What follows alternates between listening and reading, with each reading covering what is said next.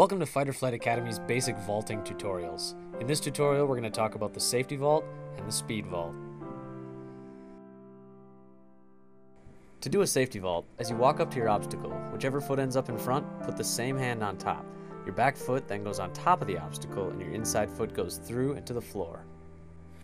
To progress into a speed vault, keep doing that same technique and just go slightly faster and faster every time.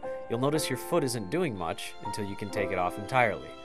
This vault works really well at a full sprint as well.